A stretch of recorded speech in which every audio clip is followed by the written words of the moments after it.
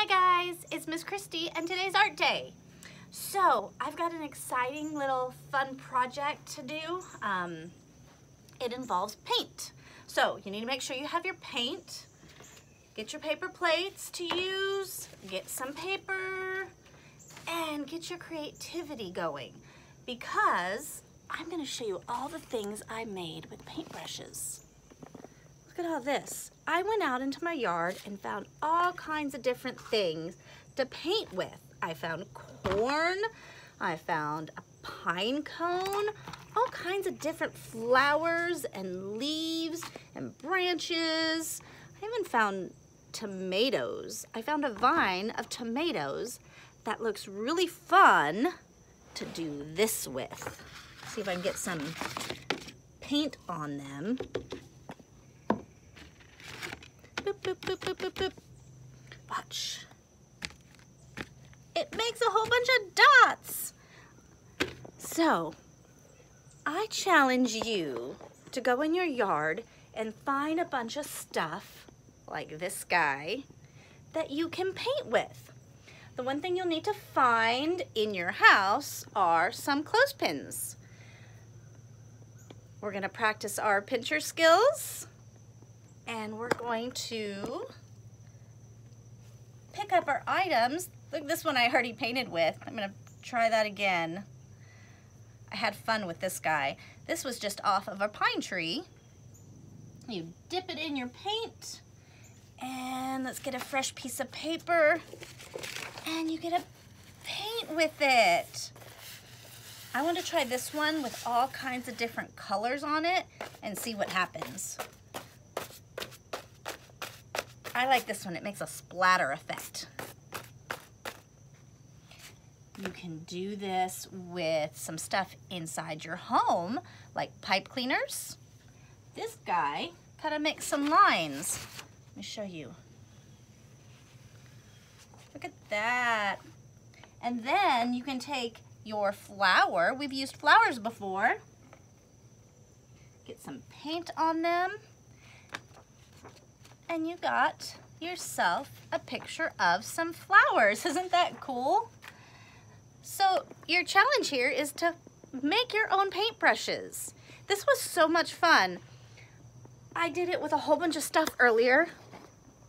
So you've seen me do it with flowers to make our um, fireworks. So in the clinic, we've used these before. Great fireworks. And another thing that's great for these is you can practice your cutting skills. So our friends that are practicing with scissors, you can hold it as the parent and your child gets to practice cutting. It doesn't have to be perfect. It's just fun to practice cutting. And then you get to ruin it with some paint and make some fireworks on your paper. We've used plastic forks before you know what? The plastic forks came in a little kit that had some paper and some plastic. Oh, here it is, some plastic. You could use the plastic with your clothespin and paint with the plastic. I would love to see how many things you can come up with. Um, another pincher skill is, where are they? The cotton balls. We've used cotton balls you can use cupcake liners. That would make a cool little imprint. You can cut some pieces of ribbon, clip them on to the end of your clothespin and paint with those. I'm excited to do this one. I'm gonna put a whole bunch of paint on this and make a big leaf, just like this. So this one, you could work on your pincher skills. You could work on the painting skills tap, tap, tap, tap. You could tap it onto the um, paper and then press, press, press and see what you come up with.